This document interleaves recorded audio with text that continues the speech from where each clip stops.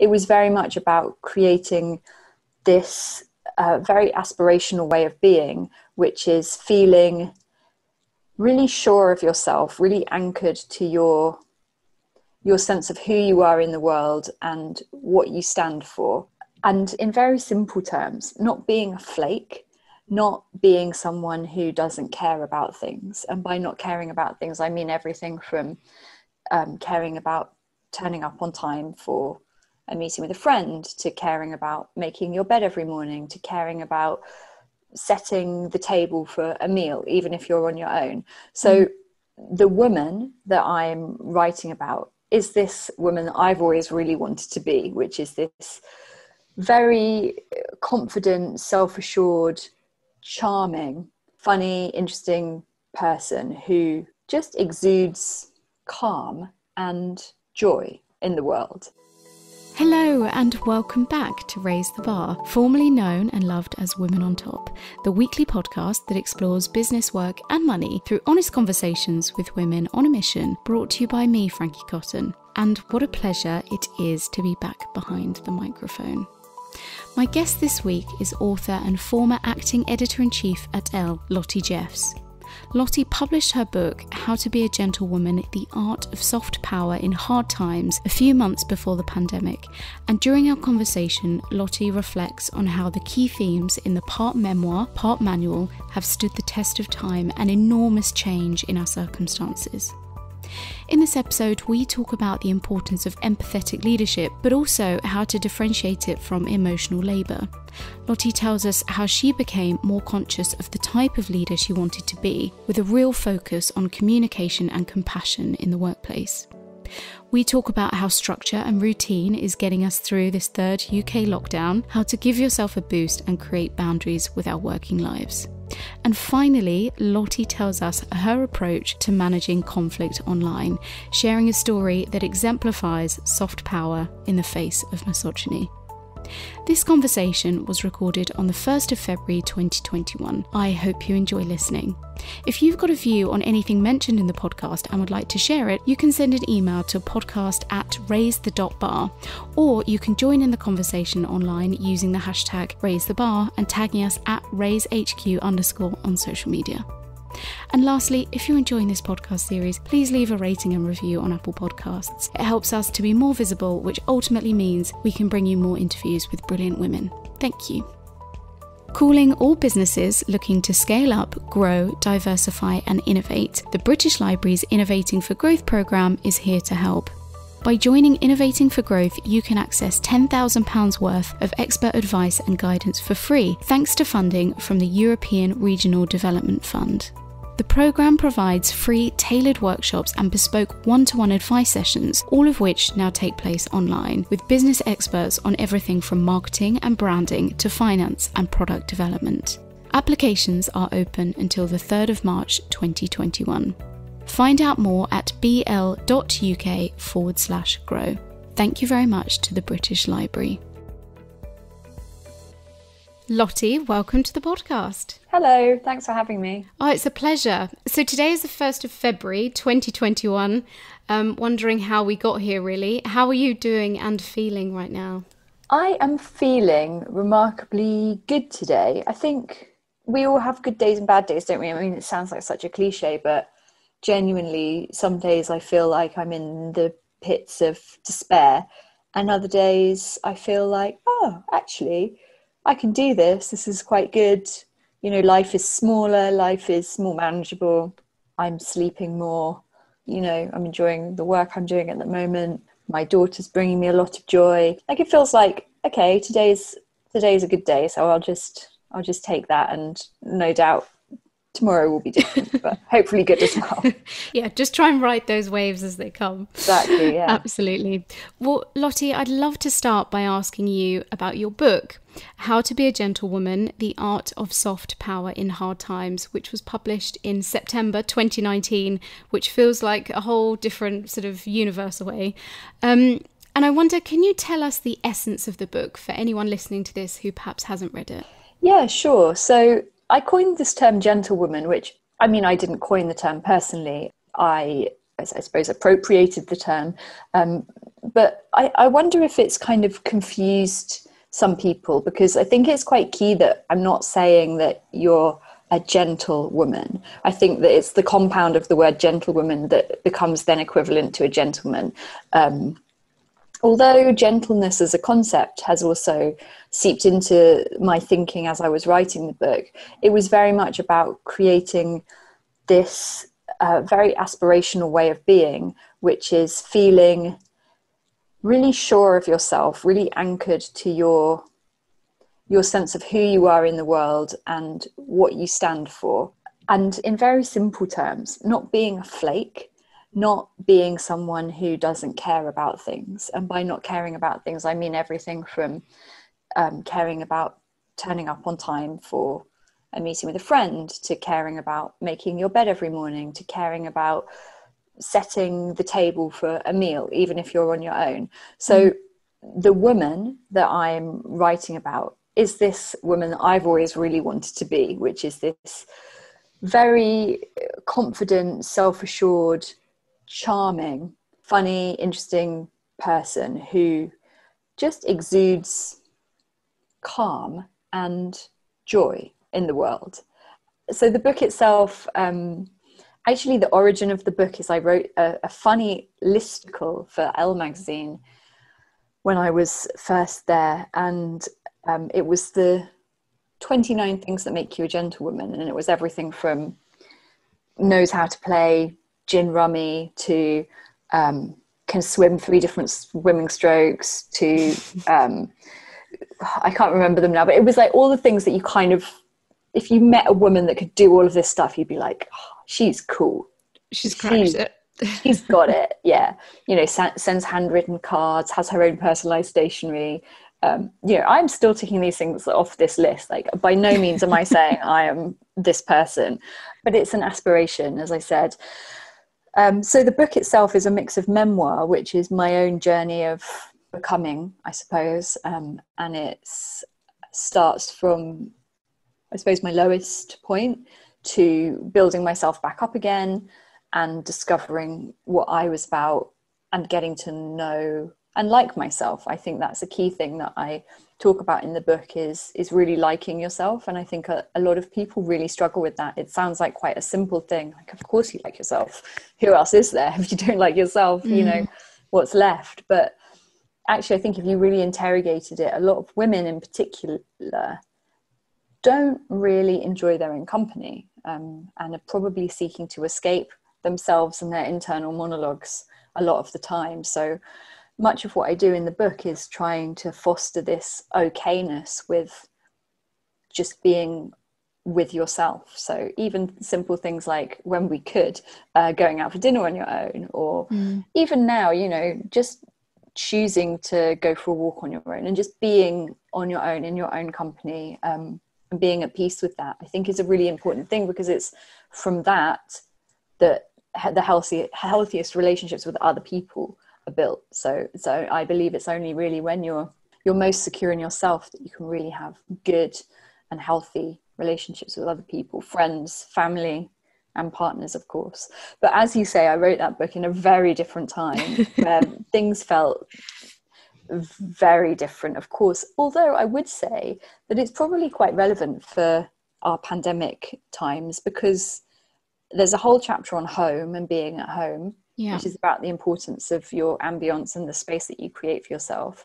Um, and I think that this idea of being on our own is something that is very much um, prevalent at the moment. Well, that's what I was going to say to you, Lotte, because you know you're talking there about actually sometimes how how women can find it really hard to sit and listen to this internal monologue and that's part of it right when you first start to spend time alone and really sort of examining what's what's happening is having that time to to really process what's going on and and that can be quite painful. And i imagine a lot of people during the pandemic if they haven't necessarily done that yet you know living the sort of busyness the hamster wheel type existence that many of us did is that it's a bit of a shock to the system. All of a sudden being at home so much, potentially alone a lot, and actually confronting some of these big topics about, you know, really how it feels to be the kind of and show up as the kind of person that you want to be and as you were saying just now, you know, um, the the woman, the gentle woman in the book is who you wanted to be. She was absolutely who I want to be as well. I was I was I actually listened to it on audiobook and I was listening to it and I was thinking, gosh, yeah, this really is a sort of manual and a blueprint for some of the things that if I stop and think about it, I know they're really important, but we just get so wrapped up in the sort of expectations I think of others and maybe this is just I don't think it is just me personally but this feels like a personal experience getting wrapped up in in other people's expectations. But Lotte my question to you is it it feels like this book is about two things at its core for me. One is consciousness and this awareness, and the other is self worth, which you've talked about before, really liking yourself. And I wonder how you cultivated those in your own life, what that process was for you to sort of come to terms with those two things. Yes, thank you. That's a really um, n- nice reading of the book, and I'm really pleased that they're the two things that you took from it consciousness and self assuredness. What's interesting, I think, is that we get to these places without really realizing that we've got there. It's not like, you know, your description of what we're, we're all going through right now is of, of having come off the hamster wheel and suddenly being confronted with ourselves and, and forced to sort of reflect. I don't think any of us, we don't sit there with like a notebook and be like, I'm going to reflect on myself now, or I'm going to, you know, face up to the person I've been and change. It's so nebulous how that kind of change happens. And so I think for me, it's really only in retrospect and it's really only through piecing together the book that I realized that this is what had happened to me. So I think at the time, I suppose the things I noticed were small things I was doing from not to bang on about it, but making the bed every day to going and sitting in a restaurant and having dinner on my own. And then at the time I'm just doing the thing. I'm not thinking about it in a in a wider mm. context. And it was only really when I pieced together the small things that I realized they added up to a whole. So I think that the self assuredness came really for me from the people I was surrounding myself with really helped. And I think once I got out of a bad relationship, which had done nothing but really diminish my sense of self, I was really able to grow into the person that I wanted to be and to see that person reflected back to me by the people that I surrounded myself with. Um, and also, I just started really enjoying my work and finding a lot of confidence from feeling like I'd found my flow in what I was doing work wise so I think that that was probably it for me. It's interesting how you talk about the the small habits, you know, like making your bed and all of these things. And I think that in times like we're in now, it's really easy to forget some of those things. You know, when your whole habit, all your habits have changed, and all your points of reference have changed. It's those things become the, these anchors, right? And they give you that sense of structure, and and and they do contribute to that sense sense of self worth. And I know that when I have, were talking earlier about the days and the waves and the ups and the downs, the days where you have the downs, I look back sometimes and think, well, you know, I didn't go for a walk this morning or I haven't had any fresh air or anything. Okay, that's why I've forgotten yeah, exactly. all the basics.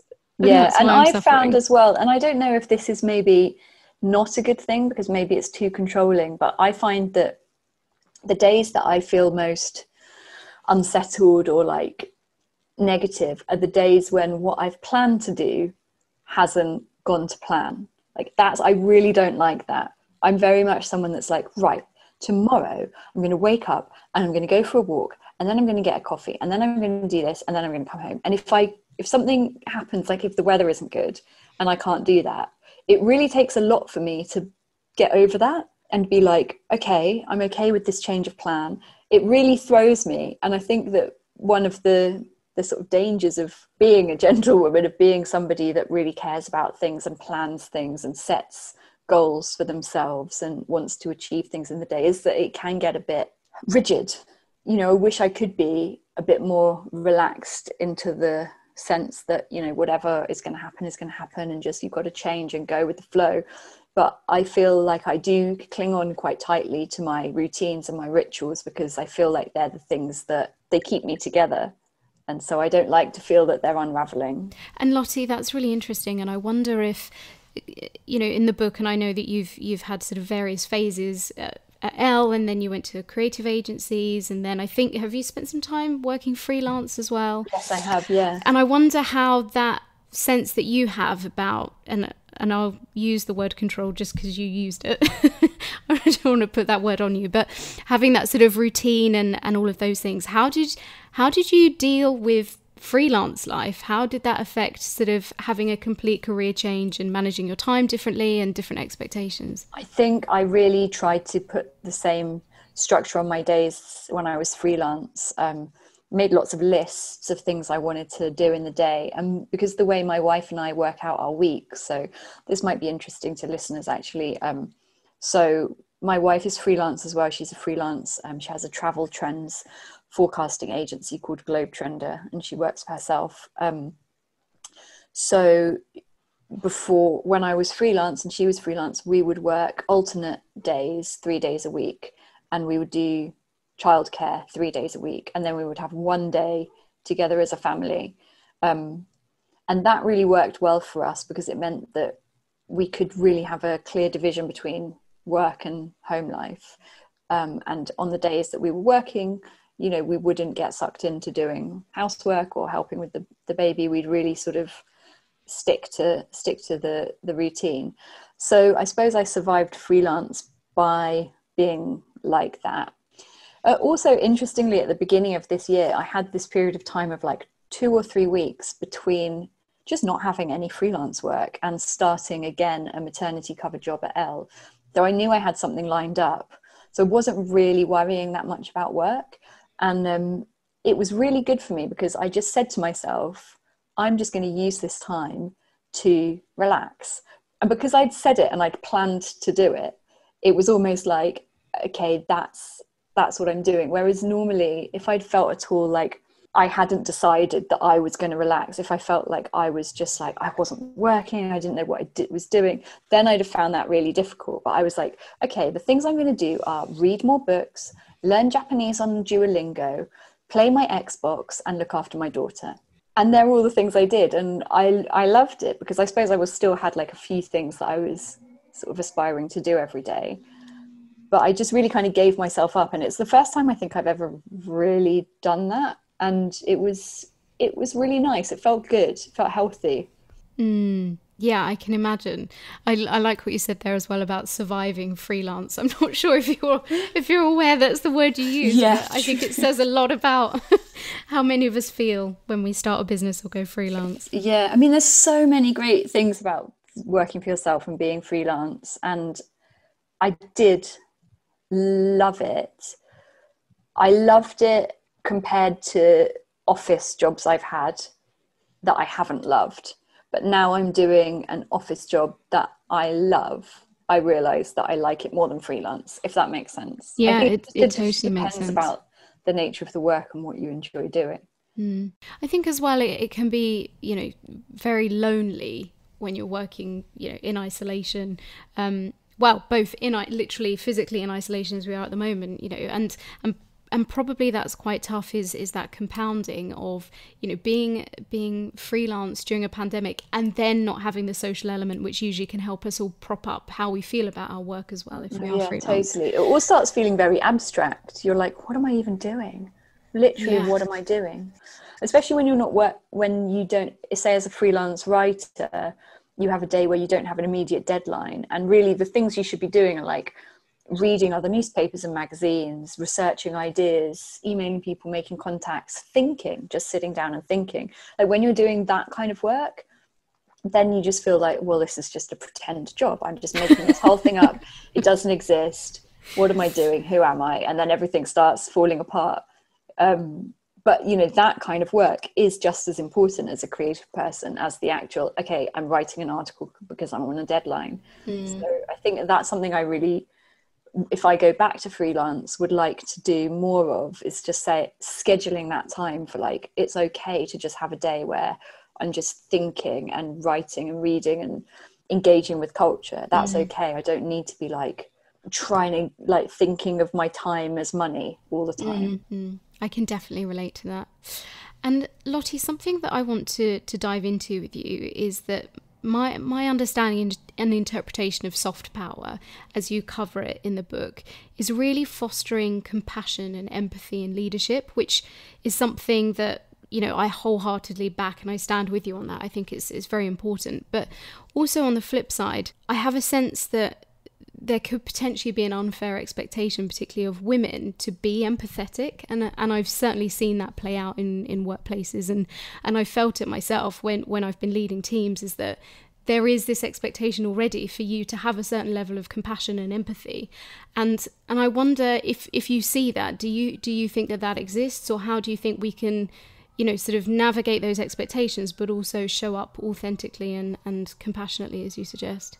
I suppose it comes down to what we mean by empathy and compassion, because I think if what we mean is, as a woman, we expect you to do the emotional labor of going and comforting someone in the toilet if they're crying because they broke up with their boyfriend, or um, being the one that goes and buys the birthday muffins because it's something you've remembered it's somebody's birthday, or that makes the tea for everyone, or you know does that kind of emotional labor, then I think I would not want to put those kind of expectations on women, and I would find that annoying if I felt that people had those expectations of me. Mm. But if if what we mean by empathy and compassion is just humanness and uh, respect for other people and a sense that people are people are not just workers and they have lives and interior lives and real lives that exist beyond the workplace and maybe they've got stuff going on. I think that we should expect not just women, but we should expect everyone to exhibit those characteristics and not sort of gender them to be things that are only expected of women or assumed of women, but are things that are really assumed of everyone because I, I just I, I understand that there are some people who maybe identify as less empathetic and compassionate and perhaps more direct or hard hitting but I think those people should still be kind. And that's what it comes down to. And I don't really think there's any excuse for. I, th- I think maybe some leaders, male and female, hide behind their type of like, I'm not an empathetic leader, I'm a radical mm. candor leader or whatever.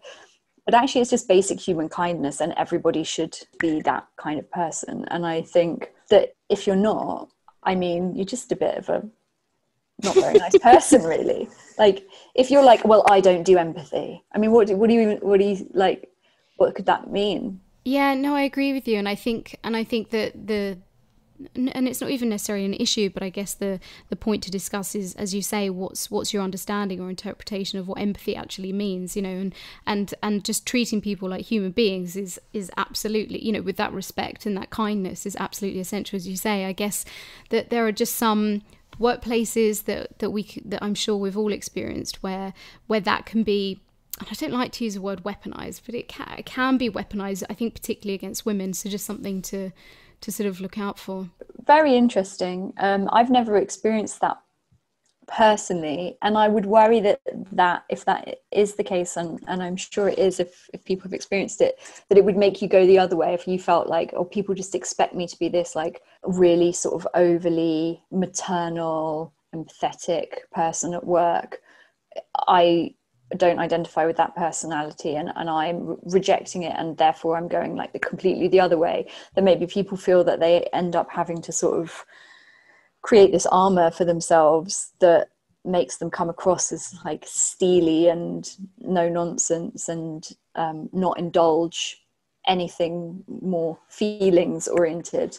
And i think that that's a real shame because i wouldn't i would believe that those people are still good people and with their family and friends they're they're able to exhibit empathy but they just don't know quite how to be that person at work yeah and i think what i love Lotte about about the gentlewoman is that it all begins i think with with the with the inward or to the sort of doing it to the self the sort of compassion for yourself and also the accountability and all of these things sort of combine it's not just saying okay i'm going to be totally compassionate towards you and actually i'm going to put other people's feelings or expectations above my own. I think it very much starts inwardly and it's about that that sort of having the that sense of self we were talking about earlier. And that is just as important. That's i guess a way that you can avoid that trap is if if somebody's sort of asking you to be overly compassionate or to deliver uh, that emotional labor but it's at a cost to yourself. I guess that's you know the essence of what you're talking about as a gentlewoman. Absolutely yeah. I think you put that really well. And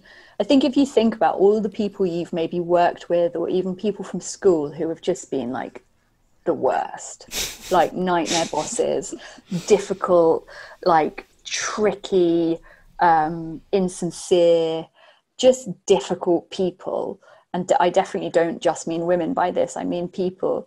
Um, those people probably, that behavior comes from deep insecurity and a, a deep, really dislike of themselves. I think that that's where it all stems from. So, in a way, that's something that has helped me deal with difficult people in the past is thinking, what happened? What's wrong?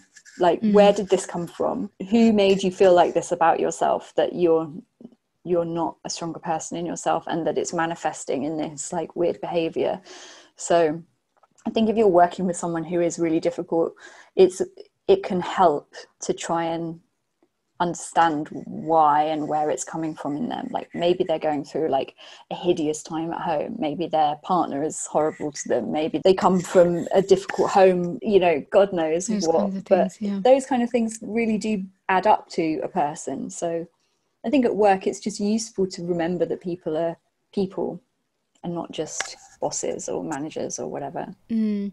And I guess you know this comes back to that that pillar that we were talking about earlier is having the consciousness to catch that before you internalize it. So having that space to sort of think, okay, before I take this on, you know, this this behavior or this sort of toxicity that is affecting me before I take that on and go, well, what's wrong with me and why can't I deliver or why, you know, it's, it's saying, okay, let's create some space here and let's figure it out. And actually that it's not necessarily on me. Consciousness, absolutely. And just not responding in the heat of a moment, you know, really think about it, not thinking that everything is always about you. I think we often believe that we're the protagonists of our of our narratives and you can often feel especially at work that everyone's out to get you you're having a harder time than everyone else you know and the, the truth is nobody's thinking about you the way you're thinking about yourself really because everyone mm-hmm. else is just thinking about, about themselves. Them. so i think that that is a really useful thing to do and it comes back to what i was saying earlier of there not being necessarily that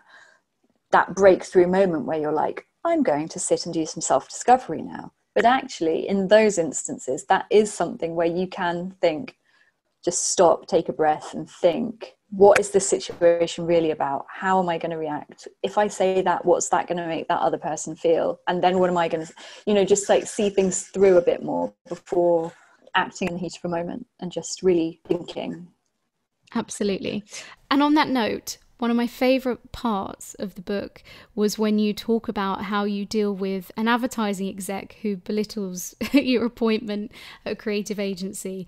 Obviously, it's not brilliant for that reason. What's brilliant is the way that you respond, and this links to what you're just saying is is is taking that space and thinking about how you want to respond.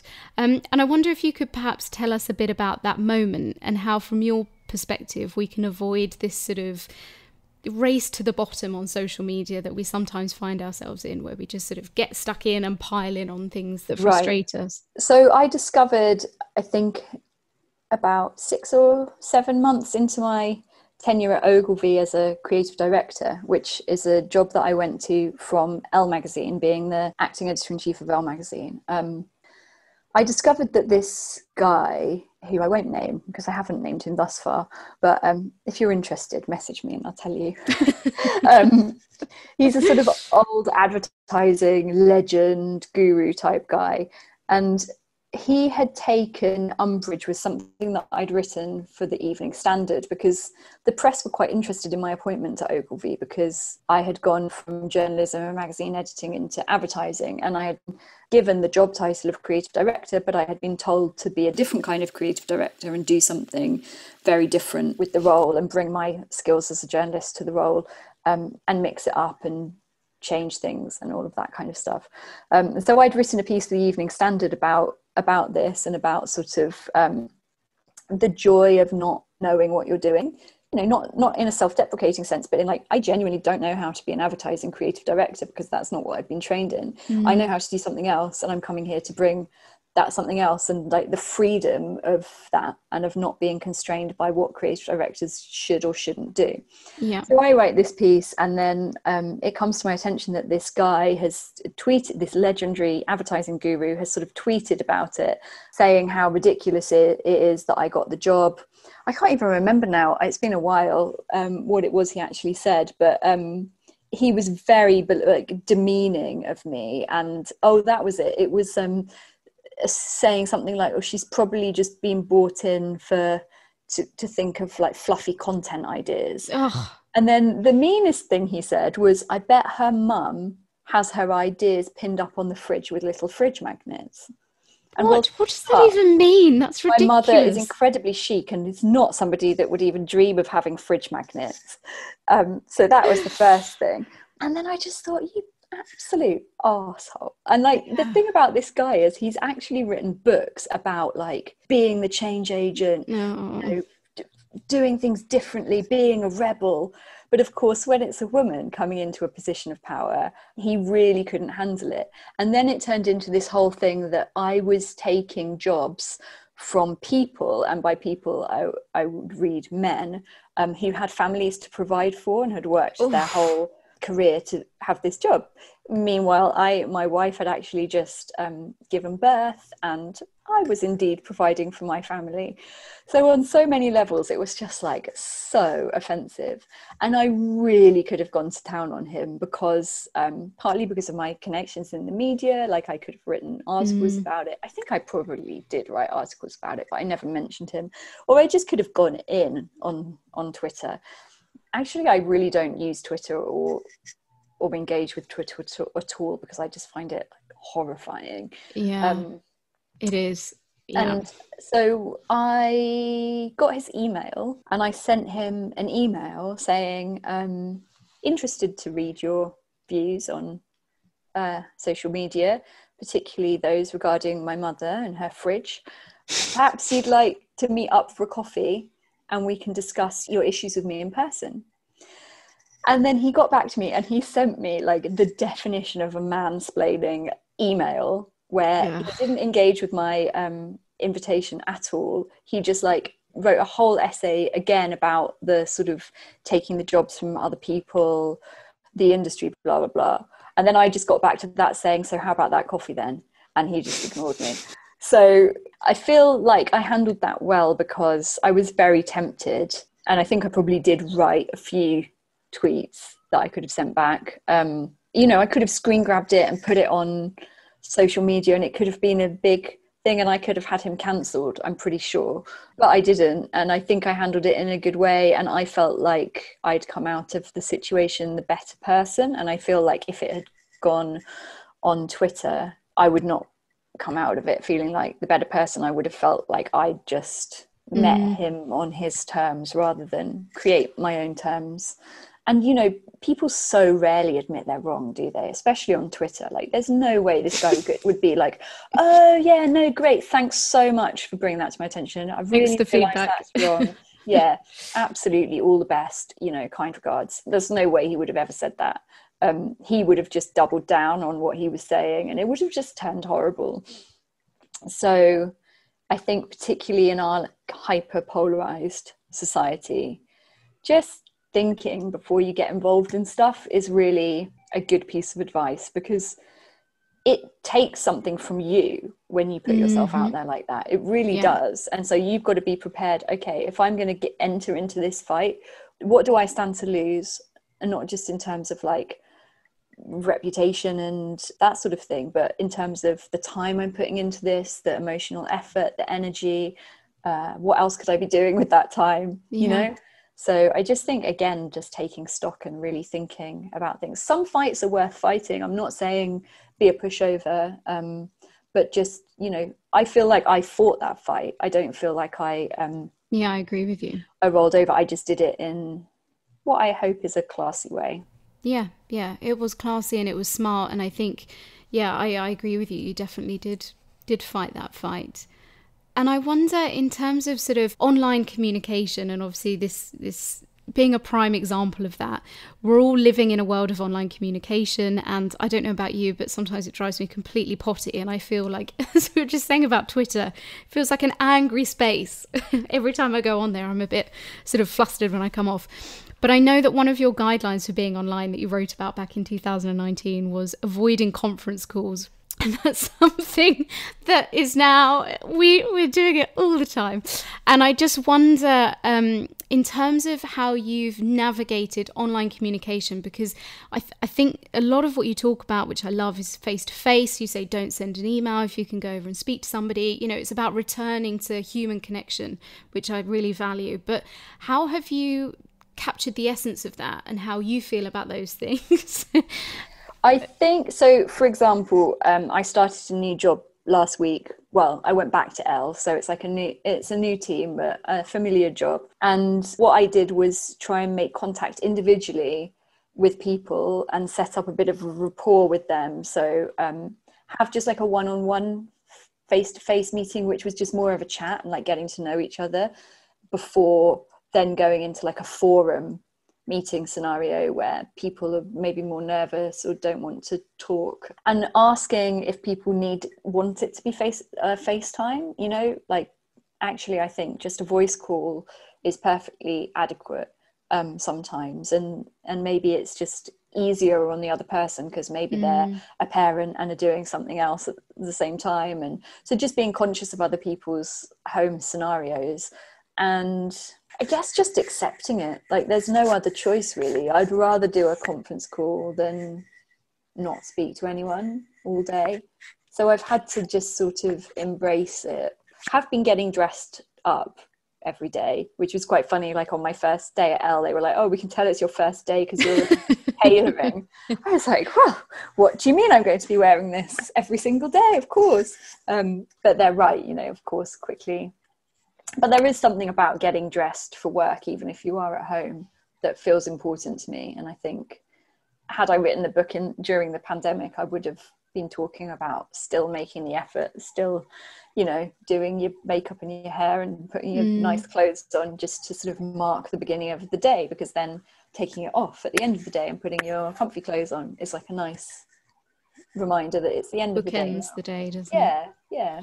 And Lotte, I wonder is there anything that you sort of hope or perhaps expect that the world will look like when it opens up again? Are there any the good the good things that we're sort of going to take away from this, and any of the things that you really hope return from from our previous life? I think we will probably all be a bit kinder and more generous to each other, um, because I do believe that having this insight into each other's bedrooms, literally, has, um, I'm just thinking that really, we sat here now, we've not met before, yeah, we could already see environment. Know, but. I think that it's it's really created an honesty and a rawness about what it is to be a person and to have empathy and to understand the different situations that everybody is existing within um, and to see home and work not as distinct things but as all part of the same thing and kind of respect boundaries within that, but also change our expectations of what